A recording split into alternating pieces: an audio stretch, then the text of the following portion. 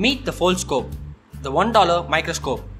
Invented by the Indian American biologist Manu Prakash, this has enabled scientific research in some of the world's poorest regions. The Foldscope, as he calls it, is made from cardboard and is origami inspired.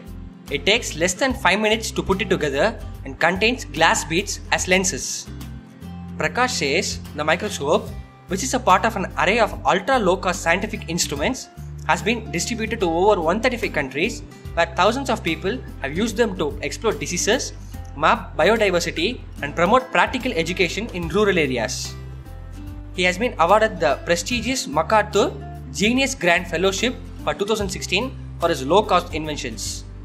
Manu Prakash is working on some other things like a water computer, which is driven by a water droplets inside a magnetic field. He believes microscopes should be everywhere like pencils. The link to the site is down below if you like to check it out.